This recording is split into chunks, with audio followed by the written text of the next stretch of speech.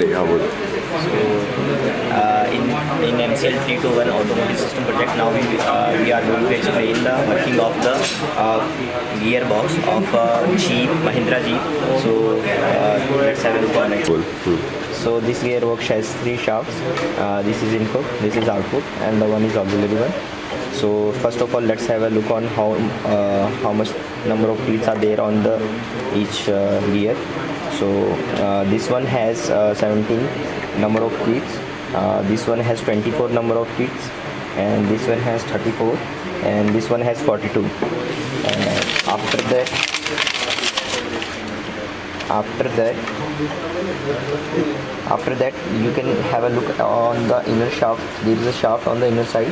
So this one has uh, 26 number of teeth and the other one here on the back has 16 number of teeth. So there is a shaft in the lower portion of the gearbox that you can see over there. Uh, so as you can see over there so in that shaft this one has 40 this is 40 uh, this has 40 uh, this gear has 40 number of teeth uh, that one has 22 and that one, uh, that one has 32 and this one has 23 and the other one on the back has 40 number of uh, number of teeth. So now let's have a look on the mechanism or the how the different gears are engaged in this gearbox so let's first of all have a look on the uh, gear number one. So actually when you pull uh, pull this shaft to the uh, left uh, rightmost portion of the gear and the other one is on the rightmost portion of the gear then you can see that the gear number one is engaged.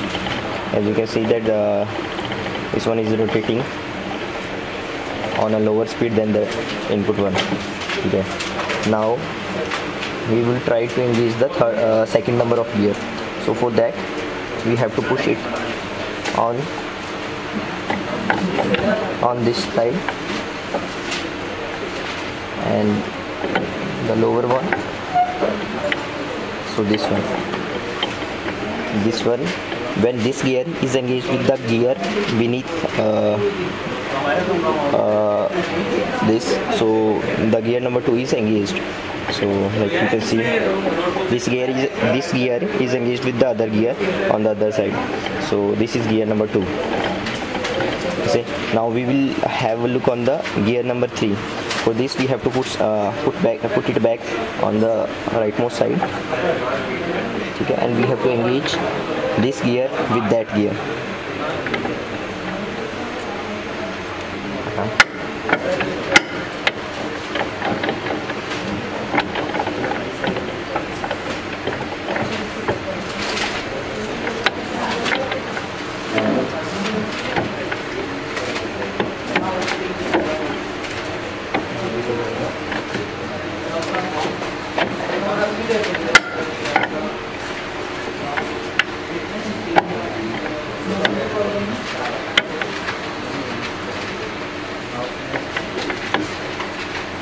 Cut कर देना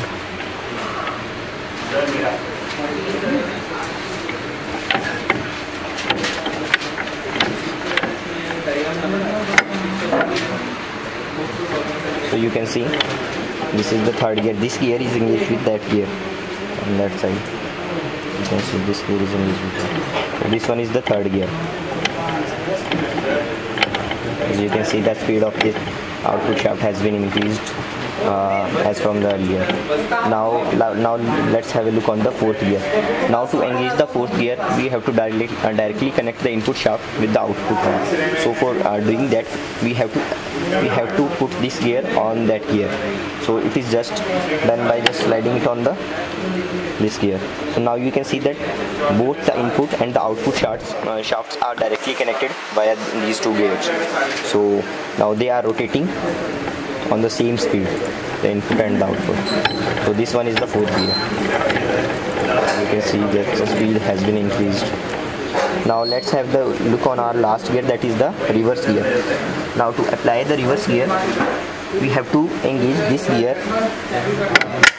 with the gear uh, there as you can see there is a gear there so we have to engage these bolts so to, now you can see that if this gear is engaged with the other gear on the back uh, back side so this is the reverse gear then so now this is these Okay guys, so the compound epicyclic train consists of four different assemblies. Uh, the assembly here consists of three different components. The First of all, the sun gear is mounted on the central shaft. After that it is surrounded by three planet gears and covering it the ring which is called as annulus. It is also called as ring gear. here and this is the So as we can see here, it has four different assemblies. First of all, the one on which I'm keeping my right hand, the first assembly. Then followed by it is the second assembly. And also we can see that the first and the second assembly, they both are mounted on the same shaft. That is up to here from the start. This is the first shaft. Following it comes the third assembly, which is mounted on the later shaft. That is the second shaft. And after it comes the last assembly, which and these two are mounted on the same shaft. So basically, uh, with the com- they- this has four degree of freedom because of the, the four different assemblies, and uh, we cannot uh, we cannot have all this all the different assemblies working simultaneously. So we keep one of the assemblies as a constant, which is a fixed assembly. It might be the planet gear, it might be the sun gear, and from there uh, we change it for different assembly for different combinations. So each Any of the assembly can be logged and the rest of the assemblies can be managed to obtain the output uh, rotation. So the sun, uh, the sun, uh, the sun gear has 20. Uh, the, the sun gear and, and the second assembly has 25 number of teeth, while the planet gear has number of teeth as 25. And the main, the ring gear, the main ring gear of both the assemblies have 75 teeth. So depending on the number of teeth, it has a different number of rotations, and the rotations will have different gear perspectives. So now we'll show you one of the one of the very basic uh, way how this gear plane works. So as you can see, we can lock any of the four given assemblies and uh, the rest of the three assemblies can be made to rotate uh, on their own. So let's lock the Let's, let's, log, uh, you the second one first. So this is this this We gear is logged. this sec- uh, second assembly as you can see. Now I'm obtaining the rotation and you can see the uh, rest of the three assemblies rotating simultaneously. Also we'll have a look at the engaging mechanism. As you can see, the first and the second assembly in them, they are, uh, although they are mounted on the same shaft, but uh, they are connected with their planet gears being mounted on the same shaft. All the three planet gears of respective assemblies, they share the common shaft, as we can see. The same happens in the second, uh, later two assemblies. Again, the planet gears are uh, attached with same shaft. So now, uh, so let's Here. log the second one. I have logged the second. Now, when we rotate this, you can see this is allowed, there is a there is an output rotation here also, and only the three only the three of these gears rotate. Three assembly rotate. The the, third, the second assembly is stationary. If you change the fixed position to the 3rd Let's one, log the second assembly. third one. Third one. Third one. Now, Now- you can see it has been logged.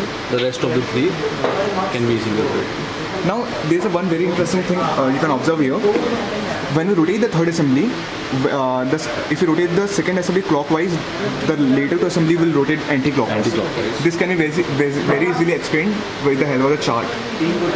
We'll have a look at the chart. Uh, because uh, we always know there is a negative sign of the gear perspective, the gear change shifting mechanism. So we'll explain it through the ch- uh, through the following chart, which, which you can see in the current in the in, in the slide. So hi guys, in the previous two sections of the video we have looked through the gearbox and the compound epicyclic gear train.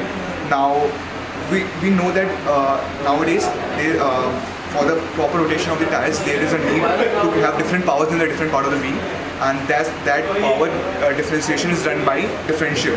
So this is the basic structure of a differential here. Uh, this is the these are the gears of the differential. So you can very well uh, see that this is one of the this is one of the gear and this is the middle portion of the differential. It has four different gears. And we have two shafts here. This is the this is the exploded exploded part. These are the two these are the two shafts of the differential. And the two shafts will go to two different wheels. And depending on the requirement of the torque and the requirement of the power there will be a power distribution in the in both the wheels.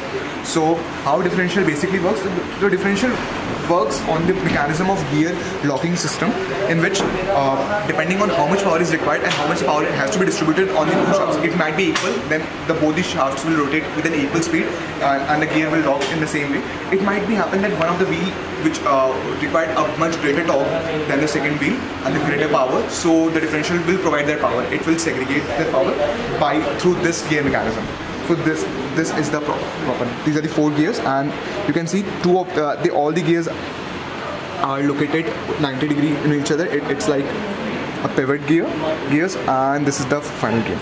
Now we'll now we'll join the shafts and we'll show you how differential actually works.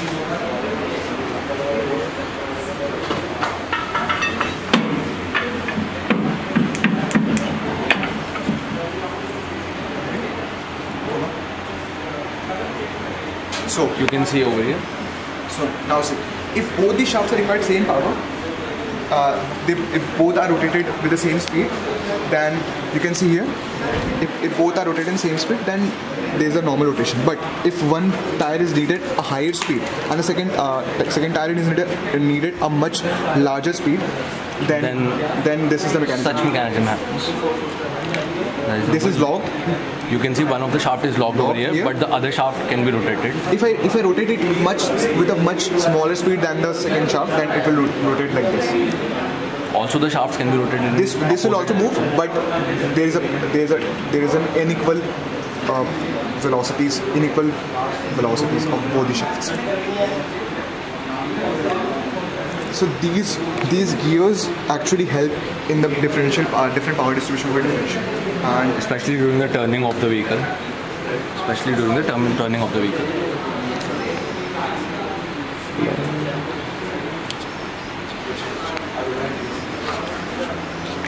look there there's there's a there's one more gear there this